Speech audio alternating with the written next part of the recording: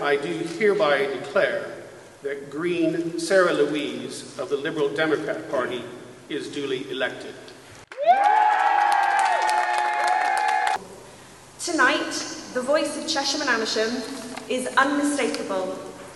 Together, we have said, enough is enough, we will be heard, and this government will listen. This Conservative Party has taken people across our country for granted for far too long. We will continue the work of holding this government to account for letting COVID rip through the care homes. We will speak up, speak up for the 3 million people excluded from financial support throughout the pandemic. And we will challenge Boris Johnson to be far more ambitious in tackling climate change, supporting our frontline workers and backing our small businesses. The Liberal Democrats will ensure that they will be held accountable and they will be scrutinised. Well, clearly this was a very disappointing result, not, not the result that uh, I was expecting, not, nor my team. Um, I congratulate the Liberal Democrat candidate on, on her victory, and uh, I hope that she finds the best possible way to serve the constituents to which she has promised so much.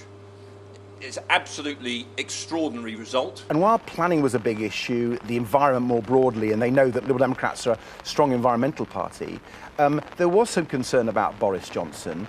They do feel that uh, you know, he's listening to the people who are giving the Conservative Party money, uh, that there's this cronyism about it, uh, not just with respect to the contracts during the COVID for the PPE and so on, but the fact that they've taken a lot of money, Conservatives taken a lot of money from developers.